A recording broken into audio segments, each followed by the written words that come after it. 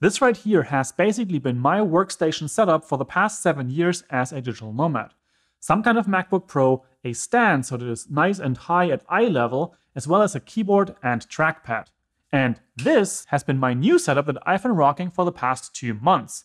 Extending my screen real estate by about 100% and increasing my productivity, the UPerfect O has been an incredible companion to my MacBook Pro. Now in this video, I want to give you an overview of what this monitor has to offer, as well as talk about how I've been using it in my daily work. Of course, you will find links to this product, the technical specifications, the shop, as well as the Amazon listing if you prefer to shop there, in the description down below. But before we jump in further, I think it's time to backpedal a little bit and talk about why I think this type of setup is incredibly important for you when you are on the road. Now, the core of my setup has always been extremely mobile, and that's super important to me because I want to be able to work from just about anywhere at any time. However, when going into a deep work mode, I've always been missing one thing, and that's more screen real estate. This isn't a problem when you have a regular office where you can just get a big monitor, but for those who live the nomad lifestyle or just want to become more location independent, that's not really an option. The thing is, I am planning to be on the road much more later this year, so I set out on a quest to find the ultimate travel monitor. But the challenge with these mobile monitors is that most of them are only full HD, which isn't terrible, but if you've been spoiled like me with Apple Retina displays since basically 2012, then that might not be a good enough option for you. Luckily, after some serious research, I found the perfect companion to my MacBook Pro, the UPerfect O, a 15.6 inch 4K OLED monitor with a built-in battery, touch features, and much more. I've now been using this monitor for the past two months while traveling in Spain, and let me tell you, it has been glorious. Now, I already published the unboxing of this monitor, and if you'd like to see that video, it is linked up here in the corner. Of course, you get all the cables and accessories you'd need, as well as the monitor and a nice protective case, which doubles as a stand for certain setups. But I personally prefer my setup to be more on eye level, so UPerfect also sent me this nice folding stand which can hold the monitor a bit higher. In terms of power, you have two options. You either plug the monitor into a wall outlet with the included USB-C plug, or you use the built-in battery of the monitor, which means it does not use any power of your laptop while you use it. And even crazier, the monitor can actually also power your laptop battery. I think that's pretty genius because most other travel monitors tend to pull your laptop's juice when you're really mobile or you have to bring another power source, which can be quite annoying. With the built-in battery, I was able to run the monitor on a max brightness for about 3 to 4 hours and about 20 minutes before it shut off, the display also showed a warning that the battery is running low, so I had plenty time to get another power source figured out. To connect the monitor, to your laptop, you have two options. You can either use an HDMI or USB-C cable, where the benefit of using the USB-C is that then you also have the ability to use the monitor as a touch surface to interact with your laptop. I personally almost always use the USB-C cable to connect, but since I'm using the new M1 MacBook Pro, which has a dedicated HDMI port, I can also see myself using that more to free up the USB-C port for other things. So overall, I just appreciate that I have the option to switch it up.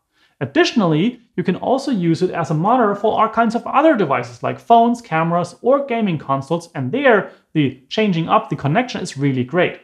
Now, once you have everything connected, you are greeted by a 15.6 inch 60Hz panel with a resolution of 3840 by 2160 pixels, which is basically 4K and that with a pixel density of 282 pixels per inch, which actually is a bit more than the 254 pixels per inch my MacBook Pro has. The beautiful display panel is OLED and covers 100% of the DCI-P3 color space, which is incredibly impressive and all that at 400 nit brightness. Now please keep in mind I couldn't scientifically prove these numbers, but overall I found the monitor is plenty bright and the colors are really, really nice. The case that comes with the monitor wraps fully around and acts as a protective cover, and additionally, you can use it as a stand, which works great for mobile usage when you're somewhere in a coffee shop or co working space where you don't want to bring more stuff. But I quickly found that for use in a desk setting like this, I want the monitor to be higher up. So I checked out the dedicated stand, which is also being sold by UPerfect, and it's getting the job done nicely. It's holding the monitor firmly in horizontal as well as vertical orientation, and it definitely lifts the monitor up from the desk for better and healthier viewing angles. What I also really like is that the monitor is actually automatically recognized by my M1 MacBook Pro as a high DPI display, which means it uses all of the 4K resolution, displaying things bigger at 4 times the detail, which is basically what the MacBook Pro also does internally.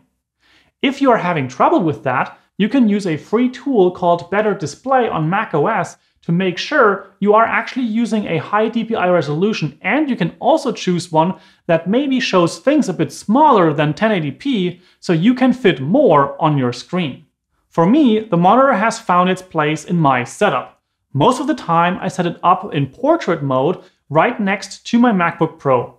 There, the UPerfect O makes a great complement for things like Finder windows, Lightroom library grids, open PDF documents, chats, or other research. Another position I found myself using the monitor in was just in front of the next stand in landscape mode. There, it is great while video editing, so I could use my MacBook screen as a full screen preview of the video I'm currently cutting, and the lower screen for the timeline and other tools. But to be honest, you could also just use the O as a full screen preview for whatever work you are doing, be it photos or videos, because the colors look stunning on this OLED panel, and since it has 100% coverage of the P3 color profile, it is absolutely capable. So as you may be able to tell, I'm thoroughly impressed with this monitor as it easily covers all my needs. But there's actually one more feature I haven't talked about yet.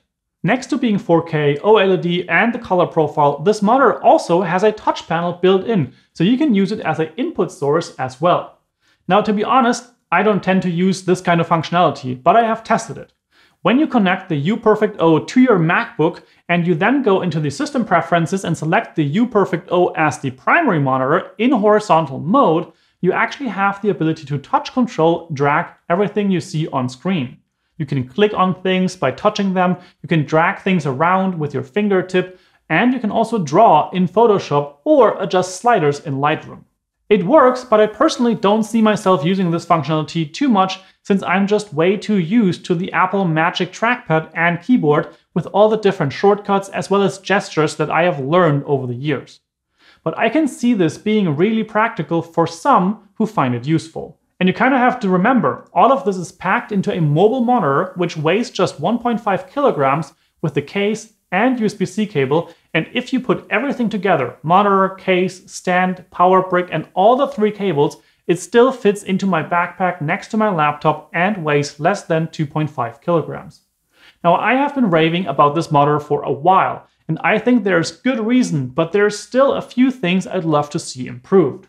The first thing would be that I would prefer if the monitor didn't have this black bar at the bottom and instead provide a bit higher of a viewing area.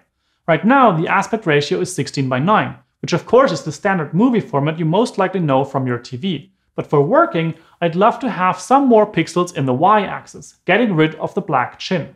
But I am very happy that they actually didn't print a logo there. Those front-facing logos are always distracting.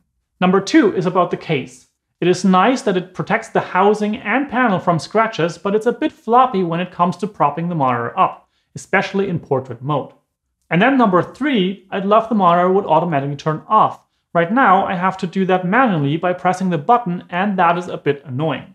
And number four, it's not actually about the monitor, it's about the stand, which you can buy separately. It could actually be a bit higher for my taste.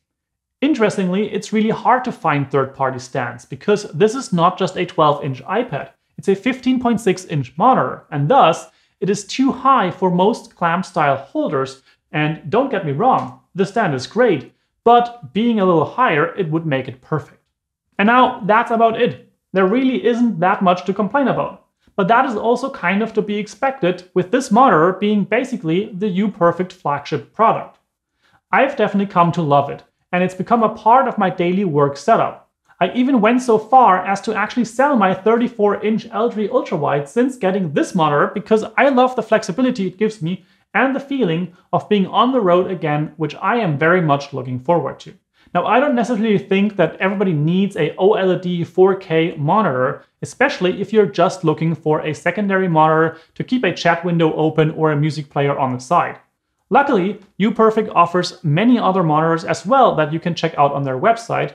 There are bigger monitors, smaller ones, 1080p as well as 4K, and I'm pretty sure you can find one that fits your needs. With that said, for creatives who want to work with the touch interface, like to have one of the best panel technologies with OLED 100% DCI-P3 coverage and 4K resolution, the UPerfect O is pretty much the best travel-friendly monitor that I have ever seen. And that's a wrap of my review of the UPerfect O. If you want to check out this monitor or others from UPerfect, you can check the links down in the description below. If you found this video helpful or interesting, please give it a thumbs up, that's always greatly appreciated. And of course, if you have a friend that might be looking for a travel-sized monitor, please share this video with them.